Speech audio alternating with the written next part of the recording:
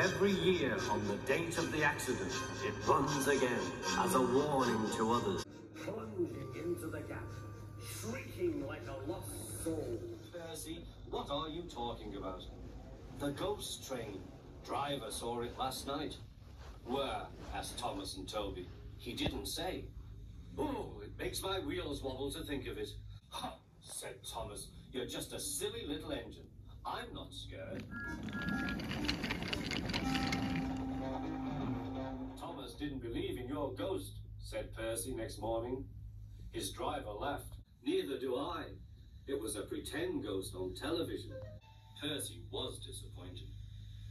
That evening, he came back from the harbour.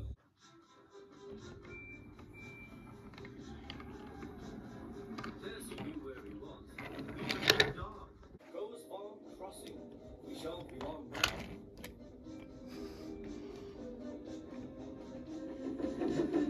liked running at night. The rails hummed, a signal light shone green. But a broken cartload of lime lay ahead. Sam the farmer had just gone for help.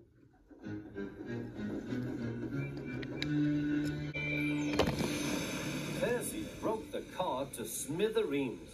Lime flew everywhere. He puffed quickly to the nearest signal box. Percy's driver explained what had happened. I'll see to it, said the signalman. But you'd better clean Percy, or people will think he's a ghost. Percy chuckled. Do let's pretend I'm a ghost and scare Thomas. That will teach him to say I'm a silly little engine. Toby promised to help.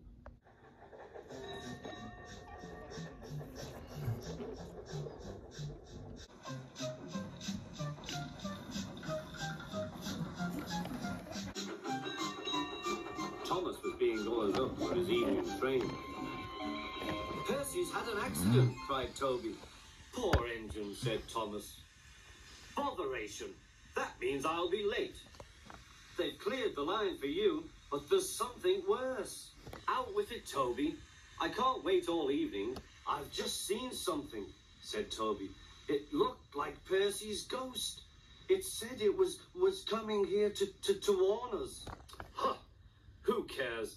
Don't be frightened, Toby. I'll take care of you.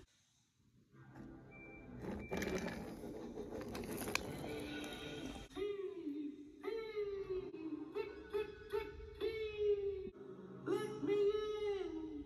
Let me in! wailed Percy. No, no, not by the smoke of my chimney, chim chim. I'll chuff and I'll puff and I'll break your door in. Dear, exclaimed Thomas. It's getting late. Oh, I'd no idea. Oh, I must find Annie and Clarabelle. It was morning when Thomas returned. Where have you been? asked Toby. Ah, well, said Thomas. I knew you'd be sad about Percy, and I, uh, I didn't like to intrude. I slept in the good shed.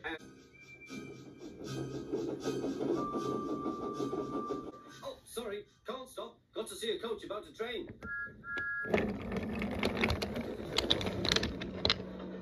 Percy was none the worse for his adventure and was still enjoying himself enormously. He had heard everything. Well, well, well. What do you know about that? Anyone would think, chuckled Toby, that our Thomas had just seen a ghost.